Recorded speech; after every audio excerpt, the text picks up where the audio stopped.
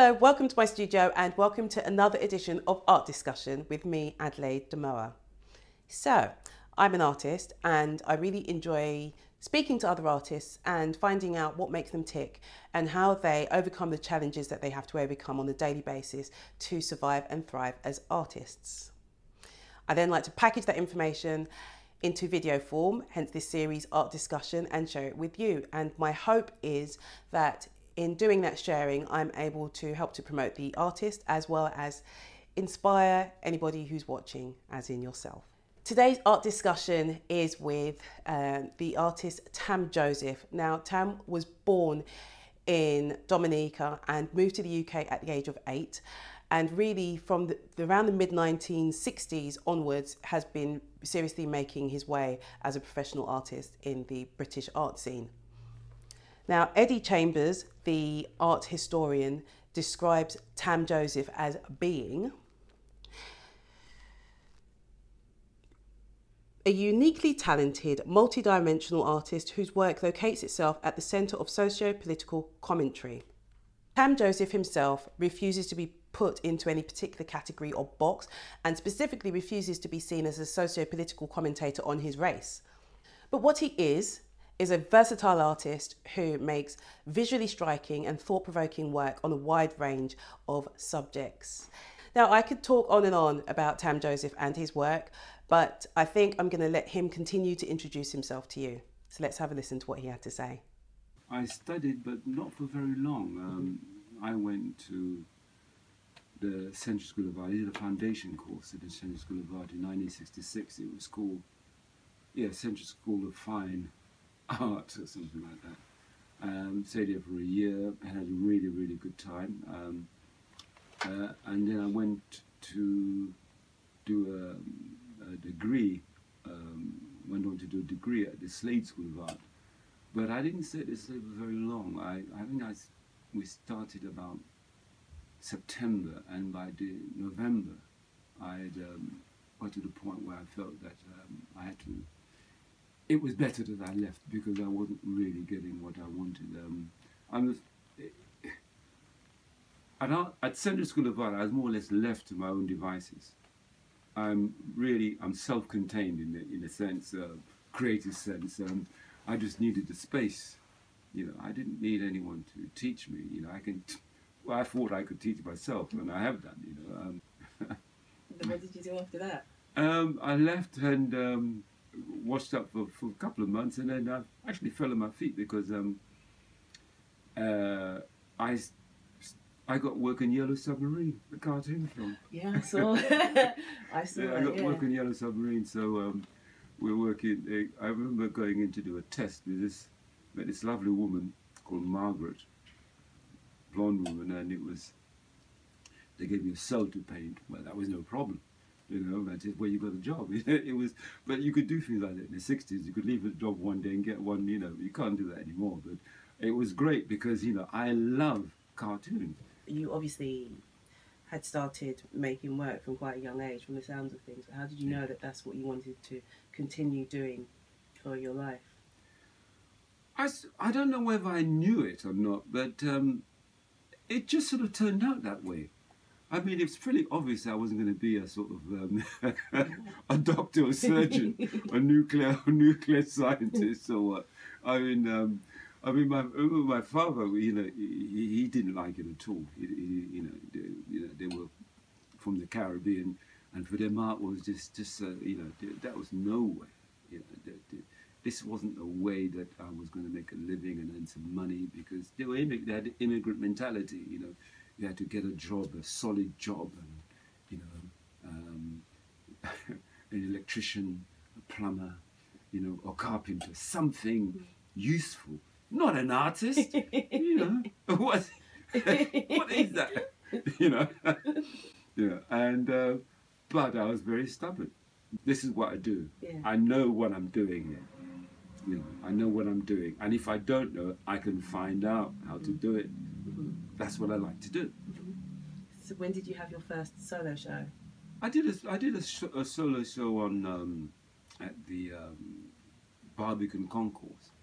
You know, it started off small, and then and then a couple of shows, and then you know, back in the day, it was difficult. You know, um, you know, I, I found that uh, some people were receptive to my work, but a lot of people weren't. You know, um, um, I found myself in a position in the '60s where literally I was, you know, the, only black face in the art school. You know, that didn't really bother me. In fact, I didn't. It just occurred to me later in life, yeah, I was the only black kid around, stuff, but that didn't bother me.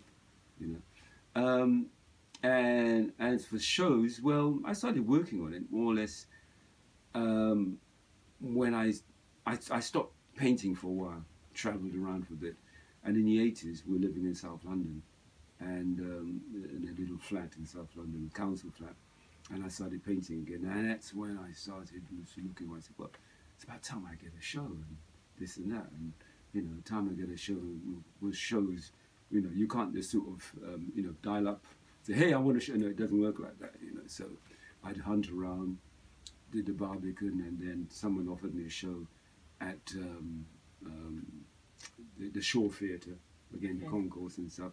And then it got, you know, started building up to the point where I got, I did a lot of group shows and some solo shows, you know. And not a great deal, but, you know, I had some works touring the country and yeah. touring the UK and stuff like that. It was good. Uh, in France, I did solo shows, but of sculpture. You know, it was a lot faster there than here. Somehow. You know? That's weird. Why yeah. do you think that was? I don't know. I was maybe in the right place hmm, at the right time. Mm. maybe life is like that. Yeah. You know. when would you say it started to um, get to the point where you were able to make a living from the work? That hasn't arrived yet. No. Are you joking? so you do you still do other things to supplement? Oh yes, yes, oh, yes, okay. yes. I mean the whole, the whole, reason why I went to um, LTP was because I knew I was going to have a hard time. I knew that with my attitude, you know, I was going to have a hard time.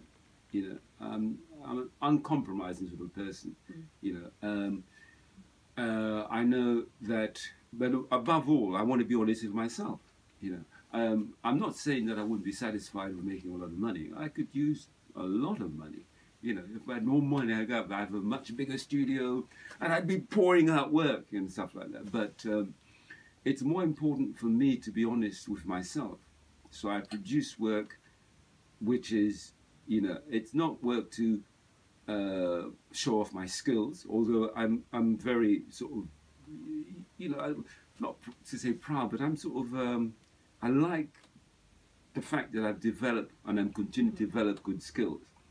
I love skillful work, you know, and, and that's why I go to to the National Gallery or the you know and um, the British Museum and the V&A all the time because you see the work. I may not like the paintings, but certainly the skills. I say, hey, you know, Rembrandt was great painter, really skillful, um, and all you know, it's amazing. Amazing, amazing. I'm open mouth.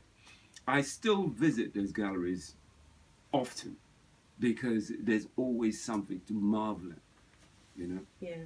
So you, you supplement your um, practice by um, doing other work, but I teach a little. I teach, teach, I teach at Crisis, and in fact, I've been. Crisis is an organisation that um, helps people who are homeless, mm. works with homeless people. I've been working there for about ten years, and um, in fact, it's just the right place for me, mm. you know, because I don't know whether I would have been happy. I would have had more money. That would have made things a little happier. But I would have had more money working in an art school environment. But I'm not very good at dealing with pretentious people, you know, and you know, uh, and you know, or even cheeky students, cheeky, pretentious, and even pretentious artists. Um, I, will will put people in their place, and I'll show if I'm upset. So um, and at Crisis, it's it's it's different. Um, I'm working with people who are quite genuine. Mm. You know, um, they work with me. They, they they trust me. They know that I know my stuff, which is good. You know, they know I know I know. So, and I work with them uh, and strive, and I try to bring rather than dealing with some little, you know, something who, who thinks, or he or she thinks they know something, they don't know, they ask from the elbow. I don't want to deal with people like that. You know, please, you know, it's, it's, I, I'm, I love where I work, Yeah. you know, because I'm working with people who, who are genuine, you know. You're teaching art classes. Yes, yeah. yeah, drawing and painting, Yeah. which is all I can do. Yeah. You know, I can't teach rocket science. You know, I can teach that. Yeah. I can't teach maths. I'm doing extra maths. yes, my maths is poor. so is mine. Very poor. So I'm just sort of. I want to. This is one of the things I want to achieve is to improve my my maths. You know, that's it. Mm. You know, but um, and improve my my skills. You know, I work in it all the time Yeah. because that's how it should be. You know?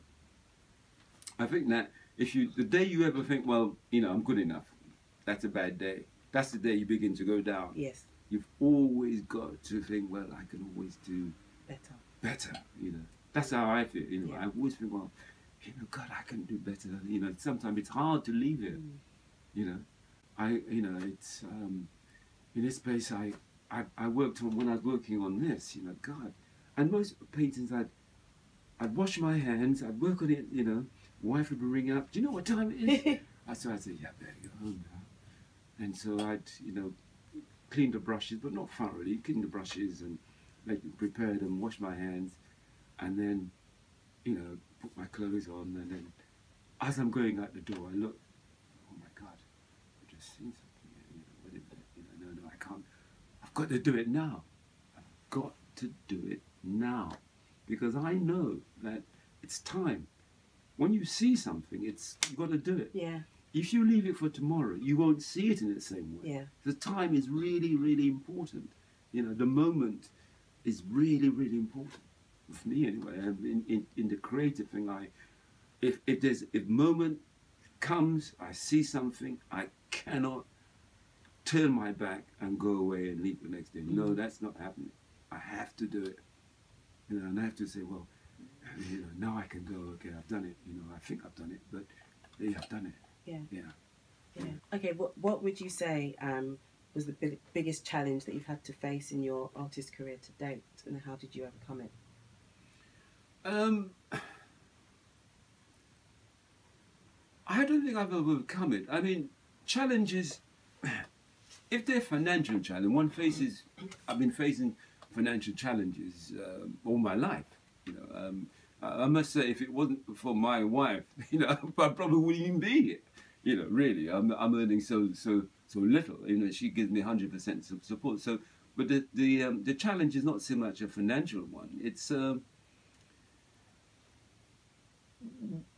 what it, I think that hit me. I mean, the work which you saw on this on on on the steps on the stairs, know, the sculpture of my mother-in-law. About two years ago, she started developing Alzheimer's. You know, and watching her deteriorate, um, you know, the mental agility deteriorate, that was really challenging. Really, really challenging, because it then in a way, I, I had to sort of internalize it, and it made me. It made me think, uh, well, you know, um, what is real? You know, I'm still wanting, trying to work it out. What is real? Because uh, there's someone I know, and I'm seeing this person who's gradually doesn't even know her children, and probably forget how to eat and stuff, and and so, so I'm, I'm, the challenge for me now is to work out what reality is. I thought I knew because I said I love looking at food. I've always looked at things, you know. But then maybe that isn't it. The challenge is knowing, and then then I said to myself, well, if you unknow, does that mean that nothing exists? All those things, you know, they, they, that that's begin to sort of trouble me, you know. I'm not, I'm not trouble. I'm trying to work this thing out. What is real, you know, and. I'm old enough to remember, you know, um, uh, Hendrix or, or, or is it John Lennon saying nothing is real, you know, and stuff like that. And it sounds sort of hippie, smoky stuff, but there is some truth in it. And in fact, I tell when I'm working with my students, I say to them, look, um, I use myself a model quite a lot. Can't find a model, and I say, um, well, look, um, I'm standing before you, but don't think that I am real. Don't, it don't believe that you are actually seeing me because only 50% of what you see is there the rest is in your mind you know you've got to know this and it's difficult if i have difficult because I'm not surprised because I've got difficulty understanding myself. That we are, you know, this whole creation is all it's all a memory. You know, if you forget it, you know, then it, it basically doesn't exist, Mm. or does it? You know, I mean, I suppose if you forget there's a bus coming towards you, when they're walking on the road, yeah, you know, but you know what I mean. Yeah. It's um, so that is a bit of a challenge. It's a bit of a challenge. It's a hellish challenge. Um, I'm trying to work out what I'm in. It's it's it's about it's about cognition. Yeah. you know, that's what I'm trying to work out. How do we know what we know? You know, that is a challenge for me now. Mm. That's it. You've mentioned a few times about being growing up being um, one of very few or the only black person in whether that was school or working environment. Essential. There were two of us back Yeah. actually, but you know, there was one guy was uh, the um, he's a technical assistant. I mean, Mm. he was an artist as well. Yeah. So I mean, um, throughout your career in in the art world specifically, would you say that you've noticed any particular racial bias? And if you have, have you have you got past that? Well, I wouldn't say that I've noticed a racial bias only in a racial bias almost everywhere you look. Well, yeah, I mean, specific you to know, the art world No, and no, no. career. It's not. It, it's not specific to the art world at No. all. You know, it's not. It's not specific. Um, you know, it, it's that. You know, that bias is just about. You know, permeates almost every damn thing. do. course. I mean, you could even be a bricklayer with a bias there. You know, for people hiring you to get a job. You know what I mean? So, uh, I'm little wonder. You know. Um, that it is bias in. Uh, I mean, it's bias. One time you could even you could even kick a ball around without getting a banana thrown at you. Yeah, yeah. so you know what I mean. Yeah, yeah, Yeah. yeah. so there's bias everywhere. But um, the bias, put it this way bias or no bias, I do what I have to do. Mhm. I'm not relying on somebody, you know, I don't want to be patted on the back, you know, or, you know, no, no, no, no. I, I really, I've, I'm, I'm self-contained, you know. I do what I want to do, and that's it. Thank you that I have a wife who supports me. Yeah. she lets me know that I can do it, and I do it with them what I want. You don't like it, you know. As they say, you know, you don't like it, you like it, you don't like it. It's the same thing. yeah. I'm going to do it because I want to do it. Yeah. And if somebody likes it, well, I say, well, thank you. You know, I'm pleased. You know, um, I don't like it. Well, yeah, okay. You know, they're not going to stop me doing doing what I want to do. That's it. You know, that's how I am. Um, What would you say uh, was your the achievement that you were most proud of to date, and how did you achieve it? Well, the one I'm, is the latest one. I mean, um, after you know uh, a, a period of over, I mean, thirty years. No, no, maybe more, thirty-one years, because my daughter was even born. She's thirty-two. Um, the Spirit of the Carnival was purchased by Wolverhampton Art Gallery, and it, that was quite amazing. Um, and um, you know, it was great. You know, um, it was great that they did. You know, you know. Um, since then, we've had a few um, uh, sort of meetings and stuff like that, and other people. Um, in fact, uh, a policeman, you know, whose name I won't mention, you know, came to see me, and he would like to show it. You know, he'd like to show the painting in um, in southwest England somewhere uh, and stuff like that. So, you know, that's there, there's been a great deal of interest. It's that painting went to New York in 2014. Wow. Yeah. In fact, it went to the United States twice. It went to New York uh, in 2014. No, I think it was 2012 it went to New York. And then it went to um, the Perez Museum of Art in Miami in 2014. How did So all of that come about? I don't even know. it just did. You know, I don't even know. Um, sort of. Um, I mean, I, I'm I'm on the internet a lot, and you know, try. I sort of try to get you know interest in my work and stuff like that. You know, but actually, most things that seem to happen, you know, just seem to happen without my intent to in intervention. I said, well, thank you. it just happened like that. So uh, it means that something is ticking over. Something, somebody somewhere is aware of me, or more and more people are becoming aware of what I do, what I've done, what I, uh, the sort of stuff that I do. So which is which is good. Yeah. What would you say success in the art world means to you? I don't know what success. I know. I know what success in the art world would mean to me. I don't know whether I've been successful or not. Mm. I mean, I, I, I, don't think so. I mean, I, I what what do you how do in, in fact it's one of these questions I've always asked myself. You know, how do I how do I measure success? Um, do I um, well, my response is I measure success. Again, it's this this self-contained thing. I measure success if I think I've been successful with a work here, you know, because if I measured it with success against my um, acceptance by a greater society, you know, I'm not even, you know, like, you know, I'm still a long way from the door, let alone getting a foot in there. You know, I'm still a long way. But um, so, uh, but were I to gain uh, a sort of financial success, well, the first thing I would do is to is to get a, a bigger studio, much larger studio, and um, you know somewhere, you know, oh, uh, yes, and um, uh, sort of, you know, bankroll my wife so she doesn't have to work. she doesn't have to support my art thing anymore. I say, hey, baby, here's a few million. Now you can do what you want, you know, and stuff. And then um, and then and then get a very large then say well okay now I can I can you know but having very little you know sort of financial resources hasn't really stopped me. It's just that as you can see this place getting more con con congested. And of late I think oh god I can't make this thing this size anymore. Where am I going to put this you know? So I'm beginning to feel the pinch because I'm beginning to feel that well you know I've got all this work and, and now I'm thinking well hey man, supposing something happens to him, what's going to happen to all his work? Oh God, that's a bit of a challenge as well. You know, what's going to, you know, so you got all these things um, beginning to, you know, hit me. So the success would be, I mean, if I had the resources, I would, I'd um, get a or build a great big building and. and uh, have a studio in there, and the rest would simply just display my work.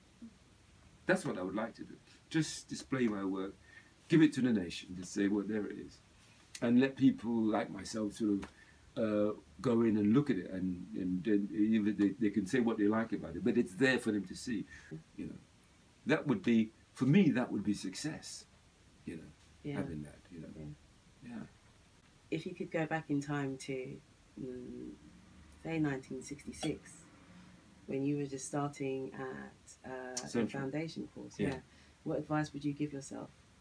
My advice to someone is to, well, just follow your instincts and follow your heart because playing safe is okay sometimes, but not all the time. You know, if you're young, you can afford to be adventurous. You can, you know. It's if you're older, then you know the adventure. You know, you're you can be less adventurous as you get older, and you are because you get you you, you pick up more fears. Mm -hmm you know. But a young person, you should be adventurous because, I mean, your life can be sucked off just like that. You know, I've seen people, you know, school, university, marriage. This, what kind of life is this? I mean, you know, it's just, you know, there's just, eh, eh, you know, everything is kind of routine, bump, bump, bump, bump. Nothing, there's nothing in between. There's no adventure. There's nothing. What have you done? What have you done with your life? Yeah, I studied and went to university. And when I left, you said I got married and I've got a kid and I've got a house. And is that all you've done, man? Is that all you've done? You know, that, that's what I say to people. Is that, is that all? For some people, that's it. You know, that's all they do. And what, what else you want us to do? But uh, for me, that wouldn't have been, that wouldn't have worked. That wouldn't have worked out. You know, uh, so in a sense, I'm glad that I was foolhardy enough to just go hobnobbing around Europe and stuff and you know misbehaving and, and doing all the things that I wanted to do without you know acting silly you know and stuff like that you know but I survived you know very well you know and uh, and I would say would I do it again? No I, I wouldn't do it again because I know what happened. You know I'm, I'm lucky I'm still alive I wasn't attacked anything I was really ill in India really ill in Pakistan in Rawalpindi. I got dysentery. The thing almost killed me. Mm. And then in India, I got I got um, meningitis. Wow. That would finish me off, man. But I survived it. I survived it. And um, now, in my friend, you know, we're three of us, and then we ended up only being two. He lives in the south of France. He's got grown up kids, called William Benistan and stuff. We we're still in touch. You know, in fact, I, when I went to the the um, AKA, A, yes, AKAA um, in Paris, um, I stayed at his son's place. You know, so it was great. You know, now, I wouldn't have met that guy if had I'd been, you know, stayed and got my degree. You know, that wouldn't have happened. You see, so young person, be adventurous. Be adventurous. Don't just, you know, don't just plod along life. You know, life is meant to be. You meant to, you meant it. It's an adventure. Yeah. You know, not just plot university. How, how you know, university, school, university, home, married, two kid, dog, a car, mortgage. Oh God. what a bore.